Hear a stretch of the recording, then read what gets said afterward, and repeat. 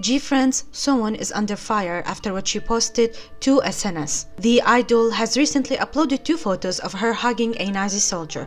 The photos immediately garnered backlash from the fans, and the post has since been deleted. The photos were reportedly taken at a set that her group used to film their album comeback show. Soon, various fans posted photos and they gained a lot of attention online, and with it, a lot of backlash.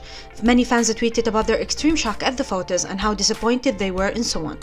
Following that, various fans flooded G-Friends Weverse with messages asking Sowon to issue an apology for the matter.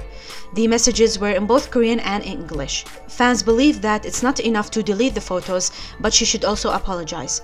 The issue became the center of attention with Sowon's name entering Twitter top worldwide trends with more than 30,000 mentions. With this issue, fans brought up an old video of the group for 2016 when member SinB says she named one of her group members Kitler, which is a mix between the word Hitler and Kim So Sojong.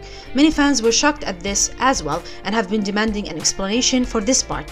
Source Music initially stated that they were looking into the matter and has now issued an apology. They responded to the severe backlash that stemmed from her photo on social media. On February 1, Source Music issued an apology statement to the matter and explained their position. Here is what they stated. We deeply apologize for the controversy over behind-the-scene video of G-Friends' comeback show and the photos uploaded by member Sowon. In November last year, an outsourced production company rented out a cafe in Padro to shoot the VCR for the new album show, and our staff took behind-the-scene videos at the filming site, as well as similar photos for the artist SNS. The department in charge did not recognize that there was a problem with the mannequin's attire during the on-set inspection process on the day of the shooting.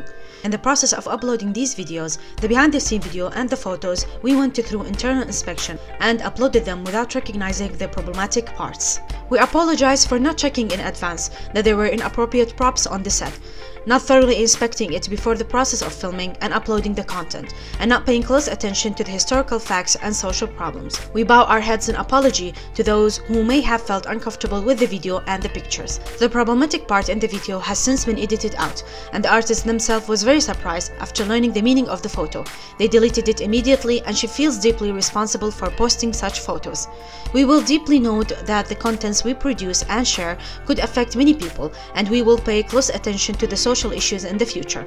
Once again, we deeply apologize to those who may have been hurt by the video and the photos. What do you think of the apology of the agency? Do you think it's enough or do you think Sowon should apologize as well? Let us know what you think in the comment section below.